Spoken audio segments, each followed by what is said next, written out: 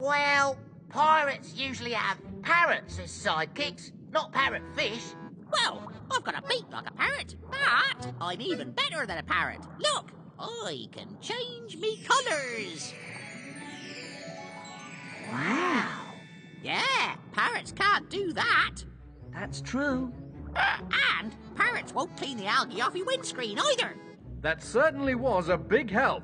All right then, but we're in a hurry to find some treasure, matey, so you'll have to keep up.